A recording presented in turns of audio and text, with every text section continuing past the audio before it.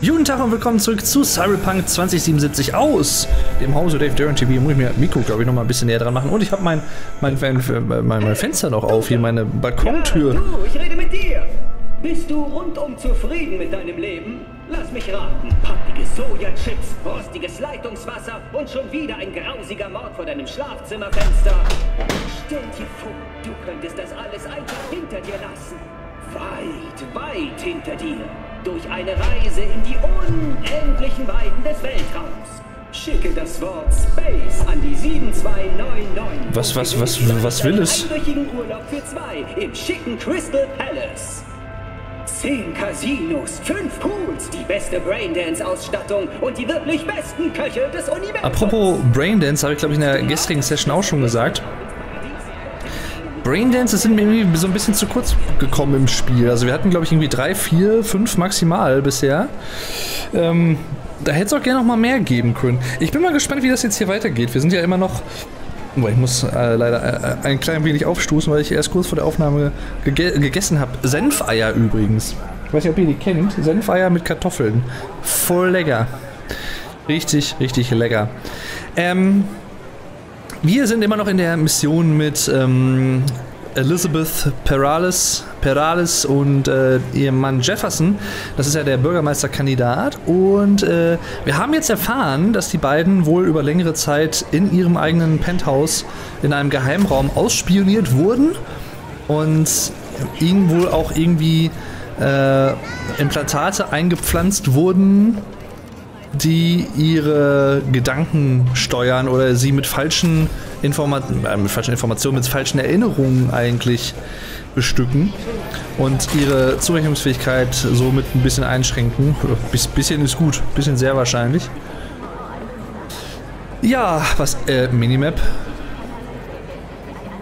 Look at that Minimap. What the fuck? Ähm. Was? Nee, doch. Nein. Nein, doch. Oh. Ach so. Immer wenn das so komisch gekruselt ist, dann ist das hier Treppen hoch und runter. Deswegen sah das so aus. Genau. Also anfangs ging halt voll hart um die BDs und dann kam irgendwie nichts mehr. Finde ich auch, ne? Übrigens, äh, das ist, äh, wer das geschrieben hat, ist gerade die liebe X3 Julle YT auf Twitch. Ne? Folgt ihr äh, fleißig und so. Äh, hat auch Cyberpunk schon durchgespielt. Ja, und wie gesagt, aber es ist interessant zu hören, dass ich nicht alleine mit der äh, mit dem Eindruck bin, den ich da gewonnen habe. Es war am Anfang war irgendwie, boah, voll geiles Feature, BDs und sowas, ne? Diese Brain Dances, wo man quasi selber Detektiv spielen kann, was ich immer sehr gemocht habe. Das hat immer mega Bock gemacht. Sowas mag ich ja total auch. Und äh, genau wie asiatische Architektur übrigens. Ähm, aber das hat irgendwie, weiß ich nicht, jetzt Füße. Wow. Das hat irgendwie ähm, ein bisschen äh, aufgehört dann regelmäßig zu passieren. Kann ich eigentlich auf ihn drauf? Boah. Na? Das ist ein großer Onkel. Scheiße.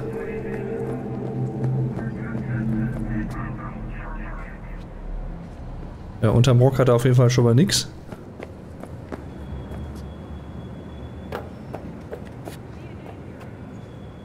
Kommt mir gerade so ein bisschen vor. Ich glaube, so müssen sich Leute fühlen, die Shadow of the Colossus spielen.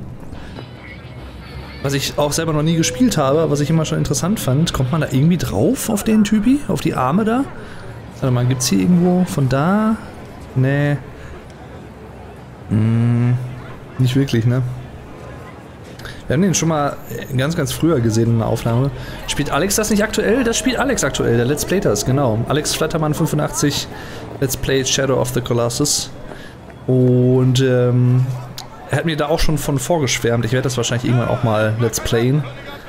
Das gab es jetzt ja auch als PS4 Remake, soweit ich weiß. Das ist ja ursprünglich auch, glaube ich, ein PS3-Spiel oder PS2 sogar. Ich weiß gar nicht ganz auswendig. Meine PS3 wäre es. Ähm, mal. Was ist denn hier? Ja, jedenfalls, wir wollen jetzt zurück zu Jefferson Airplane, nein, äh, Jefferson Peralez.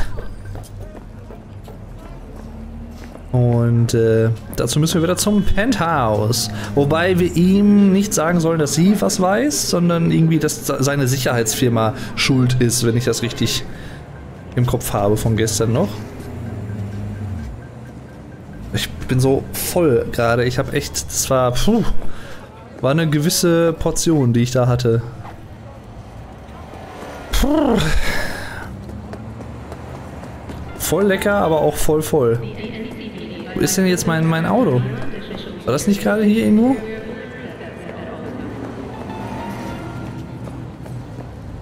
Hä? Where is my car? Ist hier unten oder was? Doof. Ich, will- ich will mein Auto haben. PS2 war es sogar, okay. Krass. Hattest du das auch gespielt?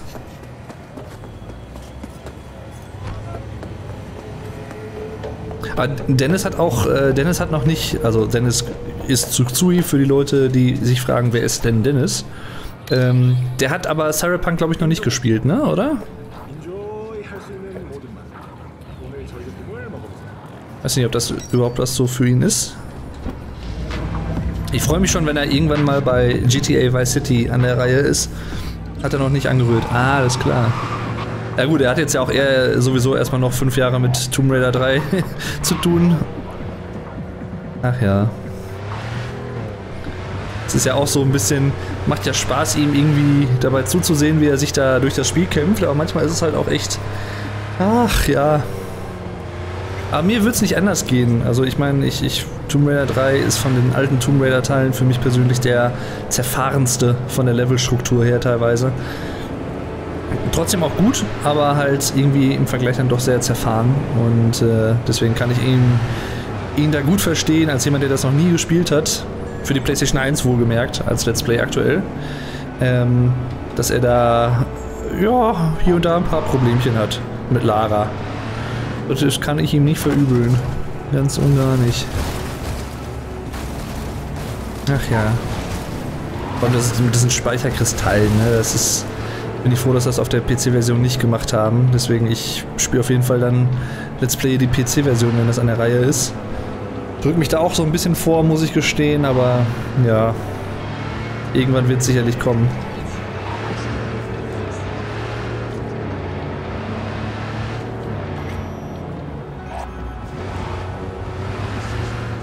Ach fuck, wo fahr ich denn hin?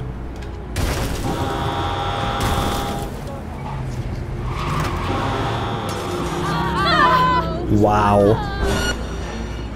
Tut doch was! Das wollte ich doch gar nicht.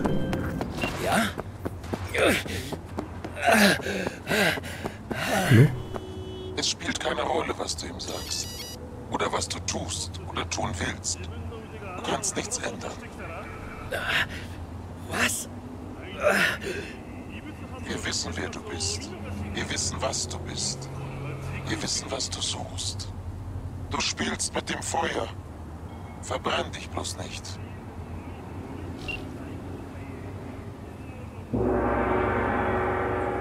Fuck! Ähm. Okay. What the fuck, da ist gerade ein total kaputtes Auto rumgefahren. Echt? Okay. Habe ich gar nicht gesehen.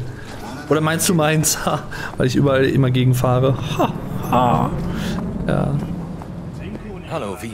Hi. Jeff. Wir müssen reden. Ja, ich weiß. Elizabeth hat es mir erzählt. War wohl eine gute Entscheidung, dich anzuheuern. Ach so, mit der Sicherheitsfirma, dass sie es war. Ja. Was genau hat sie dir denn gesagt? Oder? Naja, Ach. nur dass SSI uns für diesen Schweinehund Holt ausspioniert hat. Aber du hast noch mehr, oder?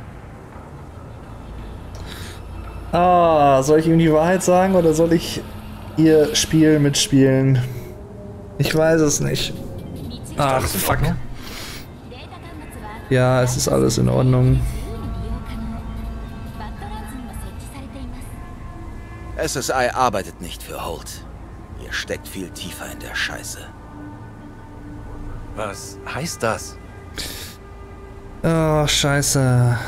Du bist ein ehrlicher Politiker. Kommt dir das nicht komisch vor? Ist es nicht seltsam, dass du so ein ehrlicher Politiker bist? Wieso denn das? Ich gebe halt mein Bestes.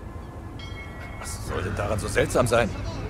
Wie viele Politiker gibt es denn, die nicht irgendwelche krummen Geschäfte mit Gangs oder Konzernen machen? Jede Menge, würde ich sagen. Man kennt sie nur noch nicht. Man könnte meinen, diese Stadt hat jemanden wie dich nicht verdient. Ich bezahle dich nicht fürs Orakeln. Was willst du mir sagen? SSI handelt für eine unbekannte Organisation, die eure Leben kontrollieren möchte. Glaubt er mir nicht, oder was? Weißt du von dem Geheimraum in eurem Apartment? Sag mir alles. Ja, tu ich doch Wir gerade. hatten darin Tech, das glaubst du nicht. Diese Leute wissen alles über dich und deine Frau. Sie beobachten jeden Schritt.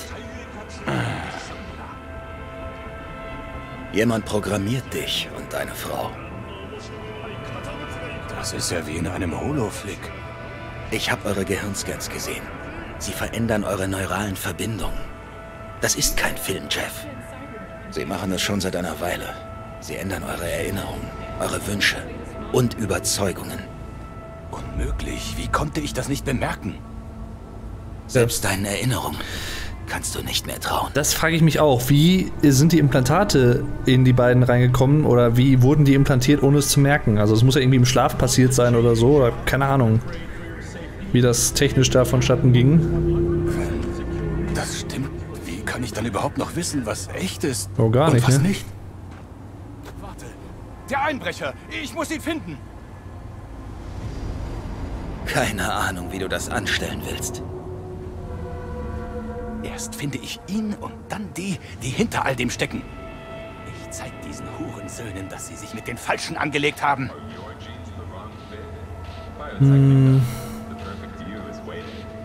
Meinst du das ernst? Wie willst du das machen? Willst du gegen jemanden gewinnen, der deine Gedanken lesen kann? Der dir deine Gedanken vorgibt? Es muss einen Weg geben. Sorry, aber er überlebt einen Eiswürfel im Hochofen. Mein Gott. Ich muss es Liz Das weiß ich schon. Kann ich sonst noch irgendwie helfen? Du hast genug für uns getan, wie. Jetzt müssen wir abwarten. Deine Frau weiß alles. Liz? Aber Sie hat es rausgefunden. Elizabeth? Nein. Sie hätte doch etwas gesagt. Nein, sie. Sie hatte Angst um dein Leben und das eurer Tochter. Verständlich. Nein. Sie hat noch nie etwas von mir verborgen und sie lässt sich keine Angst machen. Ein anonymer Anrufer hat sie bedroht und sie hat getan, was man von einer First Lady erwarten würde. Sie hat die Familie beschützt. Diese Schweine, dafür werden sie büßen. Haben wir eigentlich schon mal mit dem amtierenden Bürgermeister irgendwie zu tun gehabt oder so? Ich glaube nicht, ne? Von Night City. Was jetzt? Kandidierst du immer noch? Oder gibt's gerade keinen, weil der Auf ermordet wurde? Fall. So leicht gibt sich Jefferson Pedales nicht geschlagen. Ich warte auf meine Gelegenheit und dann schlage ich zu. Ist es nicht das, was sie wollen? Ich gebe ihnen mehr, als sie wollen. Das gilt auch für deine Belohnung. Pass auf dich auf, wie. Viel Glück. Okay. Und schlaf gut. Und? Was sagst du? Ich bezweifle, dass Menschen hinter all dem stecken. Also Aliens? Sehr witzig. Because Aliens. zu jung, aber früher hat man von freien KIs gesprochen, die im Cyberspace hausen. Also keine Aliens? Völlig egal was. Fakt ist, dass Jefferson bereit ist, es mit ihnen aufzunehmen. Guter Typ. Ich finde, man merkt halt auch irgendwie, also jetzt gerade auch wenn man so weit im Spiel vorangeschritten ist, es hieß ja, und ich glaube, das ist auch tatsächlich so, dass Benjamin Völz, der Sprecher von Keanu Reeves, die standarddeutsche Synchronstimme, die auch hier Keanu Reeves natürlich spricht, den Charakter, dass er die zweitmeisten Zeilen zu sprechen hatte von allen Synchronsprechern in der deutschen Fassung. Und äh, das merkt man. Und das unterstreicht einfach nochmal mehr, was ich auch schon mal gesagt habe, ist, dass es einfach, es ist einfach cool, dass die Keanu Reeves nicht nur dafür gewinnen konnten, das natürlich sowieso an sich, sondern auch, dass es halt nicht irgendwie so eine, ja, er hat so einen Cameo-Auftritt, ist so eine Nebenrolle, ne? Er hat eigentlich nicht viel Relevanz vom Spielgeschehen her. Das ist genau nicht der Fall. Also, ich finde es cool, dass er halt dann doch so eine wichtige Person irgendwie ist. Eine, wow. Eine wichtige, äh Heilige Maria, Mutter Gottes!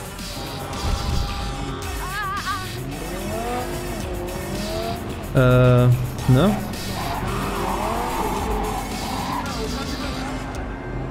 Achso, jetzt soll ich, soll ich mich mit Hanako treffen. Äh, Piskes, Pisces natürlich. Bin ich Nachmittag zum Mega-Gebäude H8. Machen wir. Haben wir Nachmittag? Boah, nee, nicht wirklich. Können wir ja trotzdem dann vorspulen lassen. Ich habe das, glaube ich, erst ein, zwei Mal gemacht, dass ich eine Karre hier geklaut habe. Deswegen, ich hatte gerade einfach das Bedürfnis, als ich die sah, Sieht cool aus. Bong.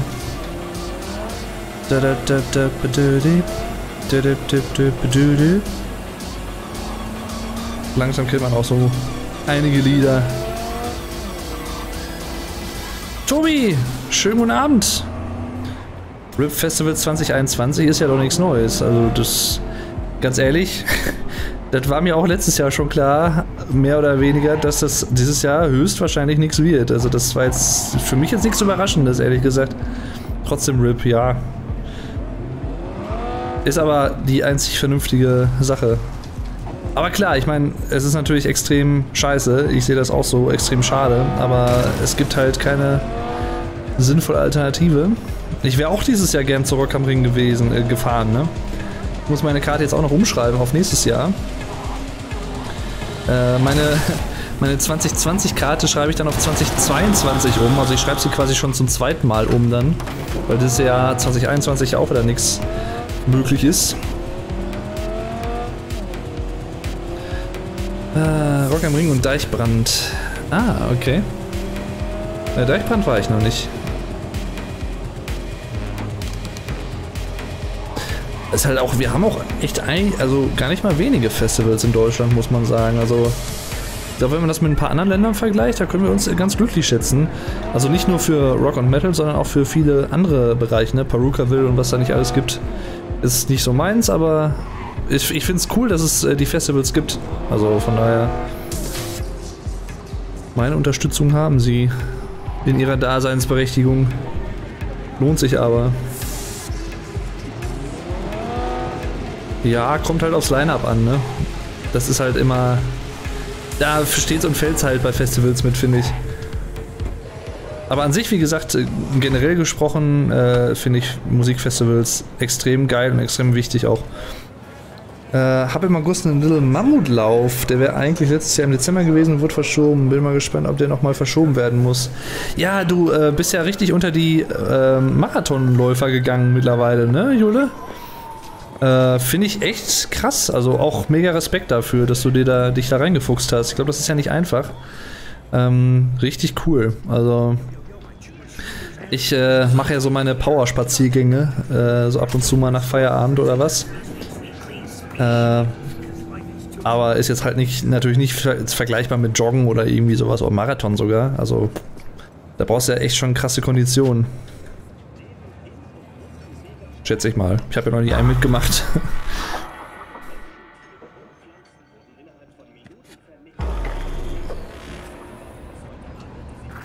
oh, trifft dich mit Judy und den Puppen. Ach, die Geschichte war das.